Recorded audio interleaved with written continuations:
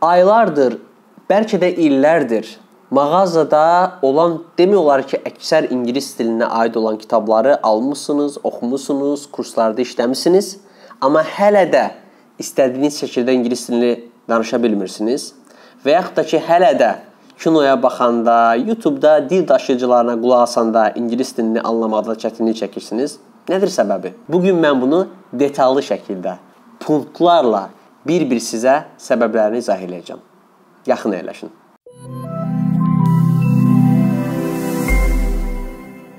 Dostlar, e, deməli ehtimal ki, bir sıra kurslarda olmusunuz və həmin kurslarda sizə adətən rəngbərəng fərqli üslublarda olan sırf akademik ingilis dilinin inkişafına yönəlmiş bir sıra dərsliklər təklif edirlər.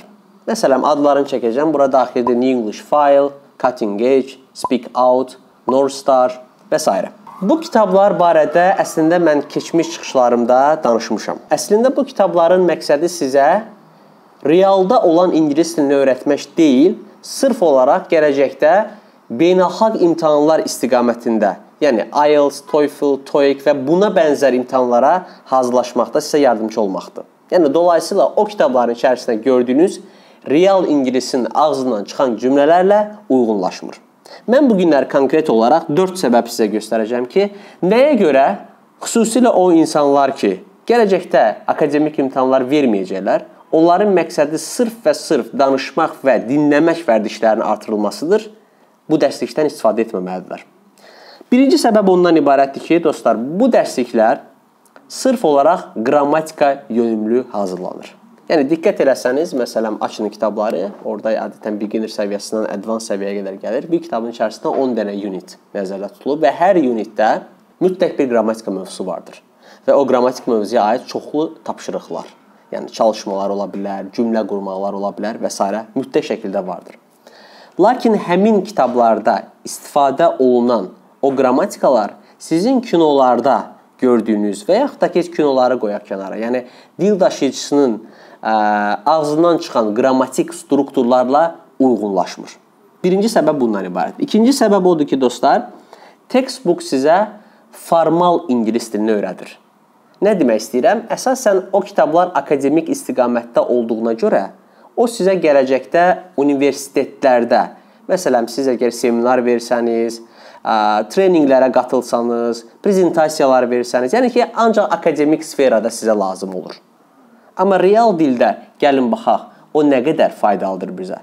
Azərbaycan dilinə bir bənzətmə aparmaq istəyirəm. Siz özünüz bilirsiniz ki, və özünüz də universitetlərdə oxumusunuz. Bu günləri universitetlərdə sizə çalışmalar verəndə, prezentasiya hazırlamaq xahiş olunanda və siz hazırlayıb çıxış eləyəndə görürsünüz ki, həmin o prezentasiya mövzuları ilə sizin gündəlik həyatda istifadə etdiyiniz Azərbaycan dili arasında çoxlu fərqlər mövcuddur. Yəni dolayısıyla biz öz dostlarımızla prezentasiyada danışdığımız tərzdə danışmırıq. Ona görə də siz bu kurs kitabları ilə ingilis dilini öyrənəndə, sonradan real ingilislə, dil daşıyıcı ilə söhbət eləyəndə çətinlik çəkirsiniz. Üçüncü fərq ondan ibarətdir ki, dostlar, bu kitablarda istifadə olunan dialoqlara baxsanız, kifayət qədər süni, yəni təbii səslənməyən dialoqlardır. Məsələn, hi, hi, how are you? I'm fine and you. İngilislər aralarında bu şəkildə cümlələr qurulurlar. Onlar nə şəkildə qurublar? Bu bizi aparır 4-cü punkta. Konkret olaraq sizə misallar vermək istəyirəm dostlar. Siz qrammatik kitablara baxsanız, orada məsələn necəsən, yəni işlərin necə gedir deyəndə how is it going deyilir. Yəni bütün sözlər, qrammatik qaydalar, artikel olsun, tək-tək tələffüz olunur. How is it going? Amma real şəkildə ingilislər bu cür tələffüz etmir. İngilislər sadəcə deyir ki, how is it going? Aydındır? Məsələn, orada bəzi hərfləri kəsirlər, bəzi orada artikelləri kəsirlər. Məsələn, digər bir misal, düzdür, əslində kitablarda siz heç bir zaman rast gəlməyəcəksiniz ki, məsələn, bir ingilis digərindən soruşanda ki, necəsən? Məsələn, WhatsApp məsələsi yoxdur orada. Amma fərz edək ki, var. Deyək ki, müəllim sizə digər başqa kitablardan idiomlar çıxardır, gətirir və siz tələffüz edəndə WhatsApp şəklində tələffüz edəcəksiniz. Əslində belə olmamalıdır. Orada t səsi ə, demək tələffüz olunmur. Siz sadəcə WhatsApp deyirsiniz. WhatsApp. Başqa misal olaraq, məsələn, tutaq ki, e, textbooklarda görə bilərsiniz ki, nice to meet you belə deyirlər. Yəni səni gördüyümə şadam. Amma əslində bu nice to meet ya deyilir. Yəni nice to meet ya bu şəkildə tələffüz olunur. Siz ona görə də bu günləri bir real ingilislə söhbət edəndə onu başa düşməyəndə stres olmamalısınız. Başa düşməlisiniz ki, sizin o akademik kitablarda öyrəndiyiniz qaydalar əslində bir dil daşıyıcısı ilə söhbət etmək üçün yetərli deyildir. Dostlar, adətən nə olur? Mən sizə öz üzərimdən bir misal göstərim.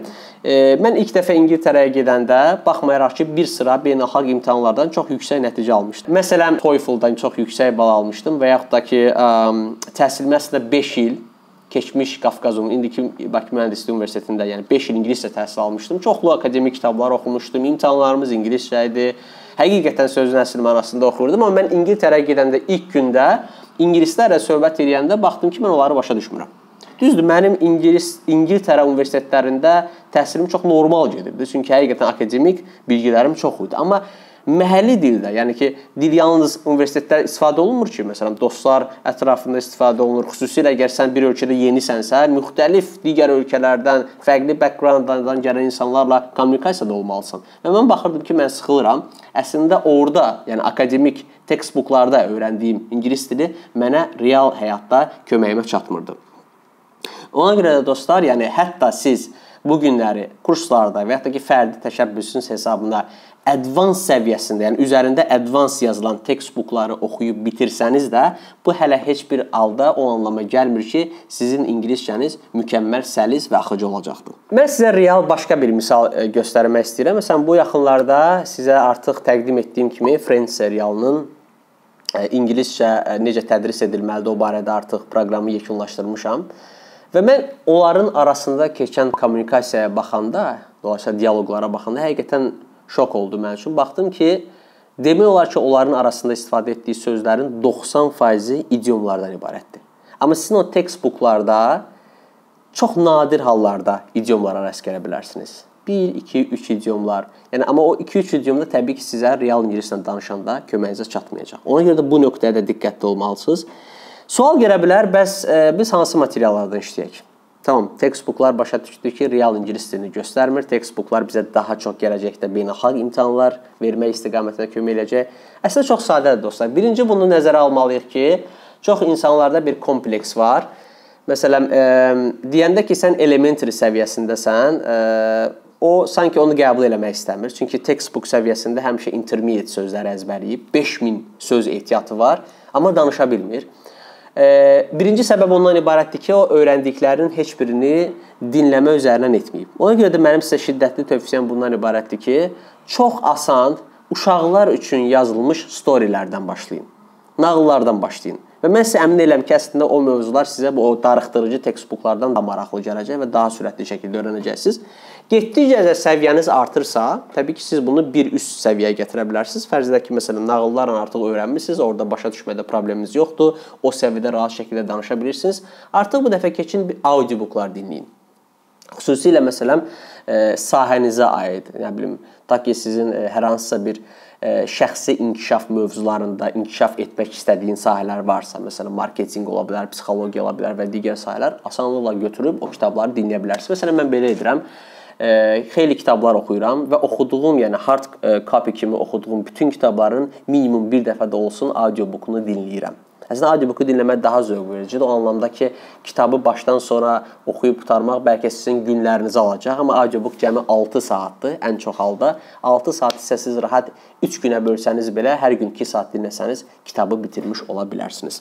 Dostlar, son olaraq bir məqamı, e, bunu sadəcə mənim inboxuma gələn çoxsaylı mesajları nəzərə alıb, e, yəni burdan hamınıza səslənib demək istəyirəm ki, Mənə soruşdular, "Orxan müəllim, hansı materiallar necə olmalıdır?" Tamamilə doğrudur ki, biz e, bu öyrənmə prosesinə bir qədər ə, e, struktural yanaşmağımız lazımdır. Yəni ki, ə, e, mən sizə vurğuladım, məsələn, audiobooklar, ə, e, uşaqlar üçün storybooklar, gələcəkdə CNN podkastlar da yeri gəlmişkən əlavə edə bilər sonra çox faydalıdır. Lakin ə, məsələn mənim spesifik olaraq dərs prosesinə yaxınlaşdığım tərz və hansı dərsliklərdən istifadə edirəm və e, bu dərsliklər hansı səviyyələrdə necə bölünür?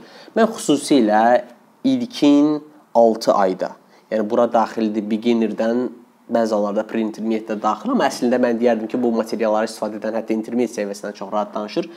Mən özünə məxsus ə, e, bəzi dərsliklərim vardır ki, onlar ə, sırf olaraq ə, bir insan öz ana dilini nə şəkildə öyrənibsə, o üslubda qurulur.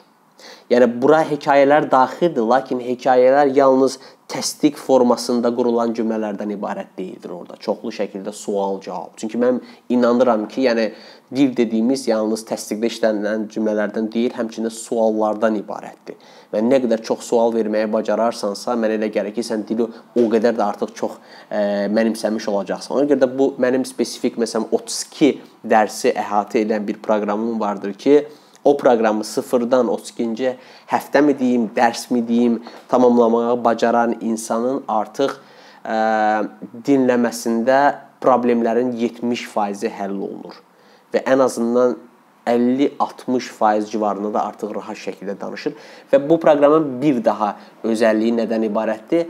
Mən bu proqramda ayrı-ayrı qrammatik qaydaları lövhəyə yazıb düstur şəklində, formula şəklində izah etmirəm qrammatikanın özünü də, yəni dinləmə üslubu ilə öyrədirəm. Yəni intuitiv olaraq, şuuraltı olaraq, necə ki öz ana dilimizi öyrənmişik. Və bunun da həqiqətən effekti, yəni 6 aydan sonra çox e, aydın səli şəkildə bilinir və görünür.